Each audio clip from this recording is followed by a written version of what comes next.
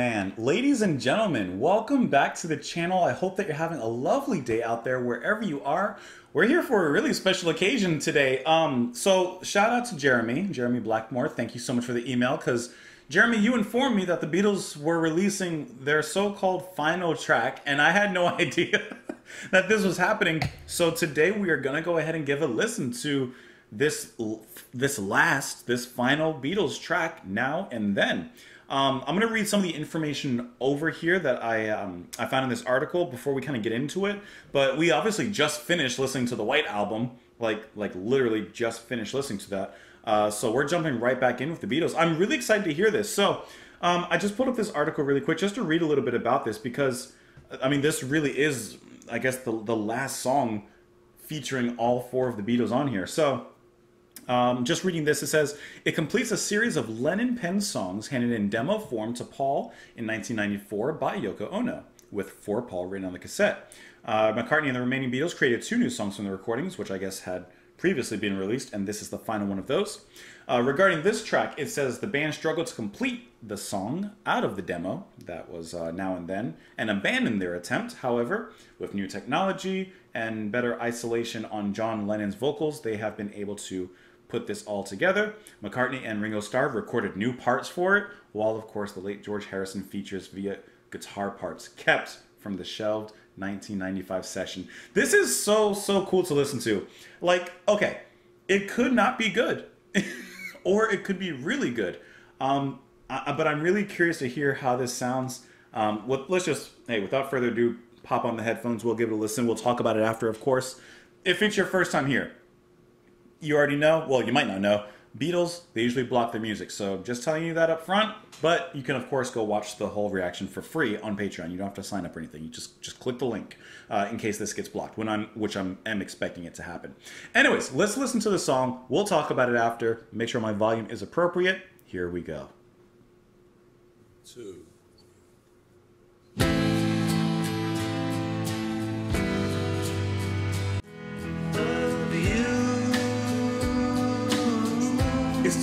2023, guys.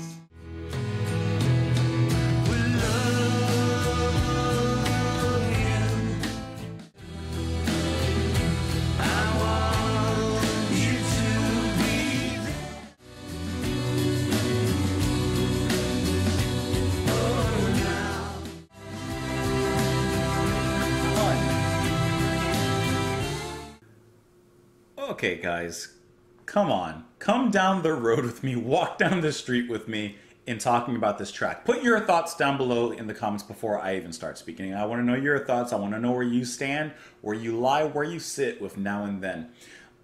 I think even if this wasn't the final Beatles song, it's pretty good. And by pretty good, I mean I think it's I, I, don't know. It's not like I was I mean, on one hand, I'm expecting a lot because it's the Beatles. On the other hand, this this track has been, you know, I guess shelved for so long and and such that maybe I'm not expecting too much. But I guess you can color me pleasantly surprised and happily surprised in listening to this because the music here is thrilling. The way that the Beatles brought everything alive, I think the production actually sounds quite nice in here. The singing, both past and present, the harmonies, sound so wonderful together. One thing I'm curious about is was this track titled Now and Then originally?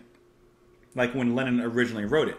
Or is that the title given now? Um, I think that it was originally called Now and Then. I'm not 100% sure on that. But obviously, Now and Then, and bringing back, you know, fourth wall breaking, bringing back the past and mixing it with the present, with the current. And I think the unison, I think the harmony is absolutely wonderful. It's very nicely displayed here in the track. I think that the arrangements are really nice.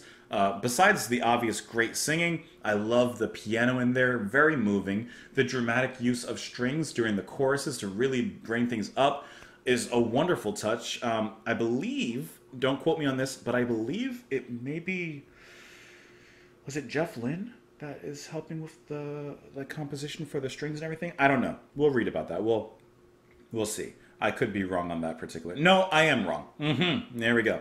So the orchestra, those who are composed of it, which there are a lot, uh, but it's the string arrangement is from McCartney, Giles Martin, and then Ben Foster. Just a really, really nice accompaniment. That's all it is. It's an adornment to be dressed up with on or with upon, I should say, the track itself. Uh, the guitar solo is is mesmerizing. It's inspiring, and I guess obviously, obviously, there is extra power in this track, being the final time that we will hear the Beatles and a new song at that, an old song, but a, but a new song. You know what I mean? And you can't deny that power. You can't not acknowledge that. But once again, even without that, it's a really good track. Does it rank amongst their classics? What album would it be on? Uh, I don't know. I don't know.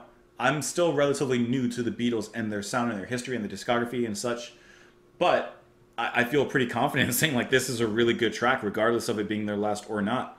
Let's look at some more information on here, uh, but before we do, let's look at the lyrics. Actually, I forgot to do that. So we get we get a little bit of accounting, of course. Why not? I know it's true, it's all because of you, and if I make it through, it's all because of you. And now and then, if we must start again, well, we know for sure that I love you. Now and then I miss you, oh, now and then I want you to be there for me, always to return to me. So it's very straightforward. It's seemingly about a relationship, a love song. You know, as long as you're there, we're going to be okay. I'm going to be okay now and then, no matter when, I'll be okay as long as you're around. Um, let's get into some of the information about this here. Uh, it says here that producer Jeff Lynne reported that sessions for Now and Then consisted only of one day, one afternoon, really, messing with it. The song had a chorus, but it almost totally lacked verses. We did the backing track, a rough go that we really didn't finish. it says the uh, an additional fact behind scrapping this song originally was a technical defect in the original recording. A 60 hertz mains hum can be heard throughout Lennon's demo recording. However, it was noticeably louder on Now and Then, making it harder to remove. Of course, that's, uh, that is part of the reason now that the technology was there to be able to fix those issues uh, and to remove those particular sounds and such there. And then just looking up here, it says that uh, on the use of AI for sound source separation, because I knew that that was a big thing, like AI, and a lot of people worried about it.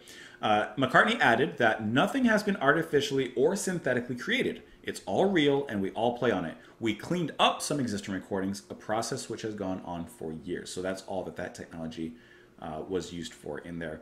I think that this is a wonderful sounding song. I think it, I think it is a proper send off and a, a very, a very highly or can be a highly regarded and well listened final track from such an amazing band who changed the course of musical history um, from their time forward and into the future, even. Still, their waves are clearly being felt. So, great track. Uh, once again, shout out to Jeremy for letting me know about the new release here. Uh, I hope that you guys enjoyed listening to the music. I hope that you enjoyed watching. Uh, the video as well. Of course, if you did, press the like button. It helps me a great deal. You can subscribe if you haven't already. You can support the channel and what I do on Patreon. You don't have to. You could just sit back, relax, and enjoy the chai that the Beatles served up here with now and then. And I do hope that you know, now and then, and maybe once again, you come on back to the channel and, you know, in, in what's the word? Endure me. Endure. Thank you so much for being here. I will talk to you all tomorrow, guys. Bye.